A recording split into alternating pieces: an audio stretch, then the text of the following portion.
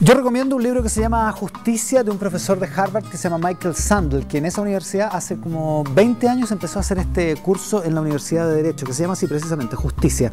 Hacemos lo que debemos, es el subtítulo del libro, está publicado en español y es una redacción muy brillante, con, una, con un raciocinio muy claro, es muy fácil de acceder a ideas que son particularmente complejas em, y que están presentadas en un formato súper atractivo. Él eh, plantea cosas como, ¿es justo que haya un servicio militar obligatorio?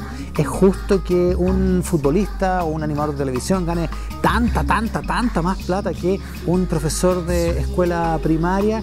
Em, son esas cosas justas. Es justo que cuando hay una, un temporal, un huracán, eh, el precio del agua potable suba cinco o seis veces precisamente porque hay escasez. En fin, todas esas cosas se responden em, de manera teórica y práctica en un libro que es realmente apasionante de leer. Justicia de Michael Sandler.